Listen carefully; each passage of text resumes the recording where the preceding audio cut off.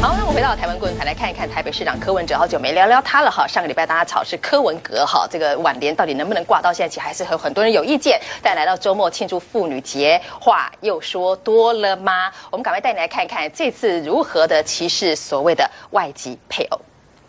天哪，台湾没有结婚的男生比女生还多。我我脑袋想奇怪，我们不是很多外籍新娘吗？已经进口三十万了的。呃，这是要失言吗，沈大佬？还是说讲失言科对科比来讲已经习以为常了？他也不太想道歉。科比还很红啊，那许明还很喜欢他，他喜欢借着他的手来颠覆传统，嗯，好，来打破目前的现状。是，所以科比现在所作所为，就算有错。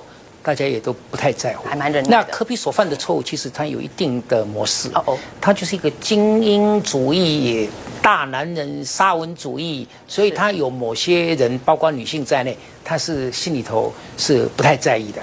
所以你看他每次讲话讲错了，嗯，都跟女性有关啊。对，哦，所以他没有说女性不可以物化。比如说他讲进口，进口就是物了啊。对，有只有物才能进口。是。他后来他说。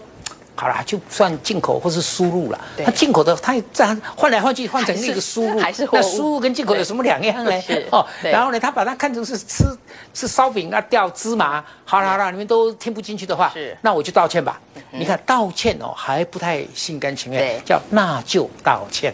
那就那两个字，我听起来就是有一点有一点不不顺眼哈，但是不顺耳。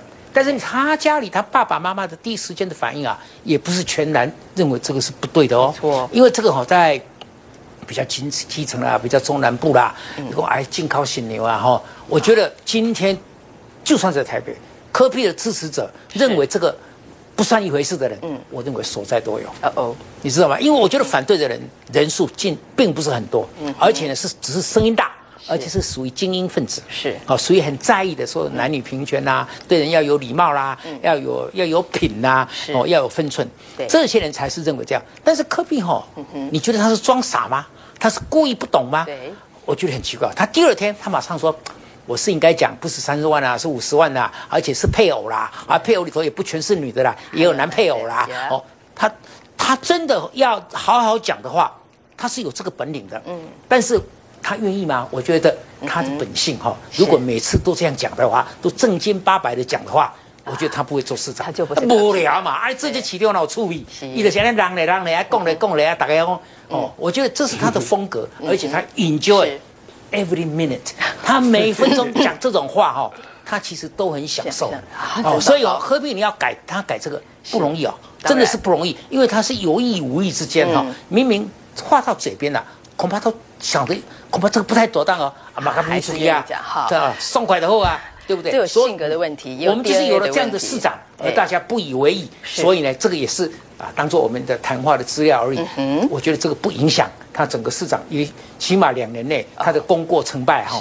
这个是不受影响，不是问题。那糟糕哈，呃，当然我们的市长失言习惯，当人民也觉得叫他道歉是一个一种呃常态，这到底应该是什么样一个状态的发展？这是对还是不对哈？所以我们请洪威带我们来看啊，这失言的呃次数已经非常非常之多，我们都直接只摘录出跟女性有关的，好，所以会做到是是不是性别歧视？但重点是，有人说柯市长啊，他就是这样真性情的人嘛，他根本是无意识的性别意识的一个人嘛，我们何必强调这么多？像今天柯妈妈也有讲啦，他真的没有恶意，需不需要道歉？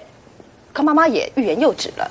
嗯，其实就像刚刚沈大佬说的，我觉得是柯比他骨子里面的那个。大男人的沙文主义作祟，所以，呃，他也说啊，我都已经去上这个性别平等的课程，他应该上了蛮多次，因为从选前，从什么那时候，呃，说陈绮贞你那么年轻漂亮，那你就去适合做柜台，后来又讲说，哎呀，妇产科剩下一个洞，不想在女人大腿里面讨生活，那那个时候大家可能觉得说，去指责他歧视女性，好像是一个选举哈，大家互相这个是一个这个选举的一个争议而已，可是等到他他当选之后。好，他说台湾三十岁以上的女性有三三成都还没有结婚，这是国家危机。对，他后来也道歉了。那这这两天讲说进口外籍配偶，是那他后来也道歉，但是他有没有发现，他道歉的是心不甘情不愿。他说那好啊，那就道歉啊。显然他已经有点，他有点失去耐性了。他会觉得说。我讲什么都错。那呃，好啊，你觉得要道歉，我就去道歉。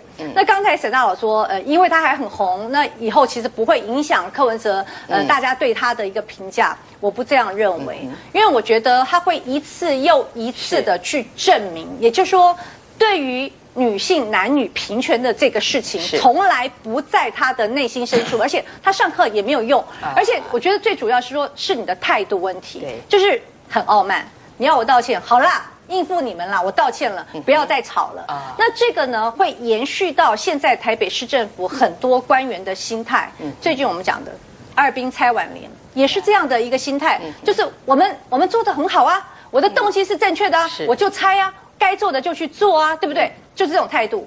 还有就是这两天的社会住宅，那别住户，呃，就是当地的住户有反弹，结果呢，都发局长就在写脸书，说自私的台北人，我就说有需要这样子吗？因为过去，呃，包含郝龙斌或者其他县市，都包含以前的新北市，也碰到很多这样的一个争议跟。就在反对，是那大家都是去沟通啊，但是现在大家态度都显得非常的傲慢。我觉得所谓风行草野，你作为一个台北市长。那你会影响你的官员对于民众关心事情的态度。嗯，好，我们谢谢洪伟的分析哈。所以接下来这是台北市政府所有官员们的一个表现的常态吗？可比说他待长期待在台大医院的这个病房里头，所以他恐怕社会化不够，还是说其实他早就已经非常政治化了？怪台大医院，我是台大医院的，他的学长讲的，我什么东西都怪台大医院，然后怪台大医院的急诊处，然后加护病房是。这个不能做推脱之词啊！是，我跟你讲，他的医院的你的同事、你的学长学弟那么多，哪有一个人没有社会化的？好，这个台大学长有意见了，陈大佬在这里不以为然。待会回来，我们来关心我们南海的局势。